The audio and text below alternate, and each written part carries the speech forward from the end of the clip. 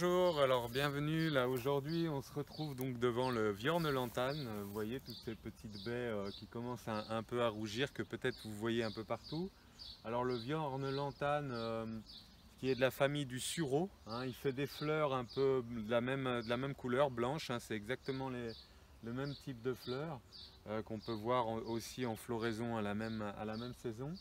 Alors attention à ne pas confondre le vior de lantane avec, euh, avec le cornouiller hein, qui, est, qui est toxique. Alors le cornouiller femelle, pas le cornouiller mâle. On pourra, euh, on pourra voir par la suite quel est le, le cornouiller mâle, comment le distinguer. Euh, donc ça, ces petites baies, elles sont comestibles. Alors accrues, attention, parce qu'on peut être intolérant. on peut avoir quand même des, un petit peu les intestins qui travaillent et puis ça peut devenir toxique si on en mange trop, surtout si on est peu tolérant. Hein, notamment à, différentes substances comme la saponine. Euh, donc là, on va préférer attendre qu'il soit un petit peu rouge. Là, on voit, là, on va regarder d'un Voilà, en regardant d'un peu plus près, on voit, bien qu'elles ne euh, sont pas encore tout à fait mûres. Elles doivent devenir un peu plus rouges, euh, vraiment pour être intéressantes. Alors on peut regarder également les feuilles hein, qui ressemblent quand même un, petit peu, ça se rapproche quand même des, euh, du cornouiller, donc bien faire attention à la distinction. Alors on voit bien ce fruit, il est vraiment en forme d'olive, c'est vraiment comme des petites olivettes. Hein, c'est pas tout à fait rond, c'est un peu concave dirais-je.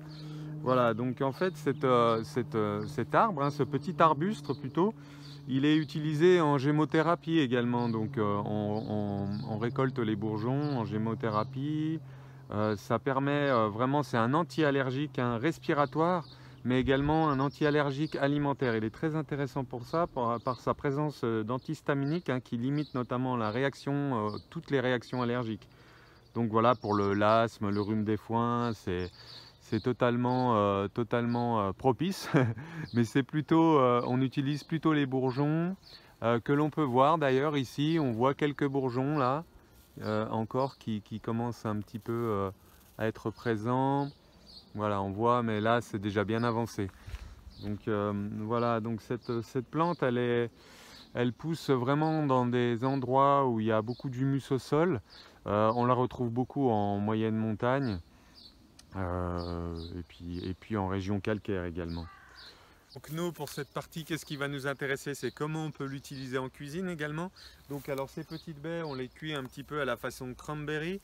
Euh, voilà, on peut, on peut faire un, petit chutney également euh, qui, peut accompagner, euh, qui peut accompagner des petits toasts de légumes ou des petits toasts d'autres plantes sauvages. Par exemple, on fait des toasts d'ortie ou de pesto. On peut mettre ça à côté, c'est vraiment très agréable. on peut aussi assez, assez facilement faire reproduire cet arbre, notamment en récoltant la graine à l'intérieur et en la faisant germer.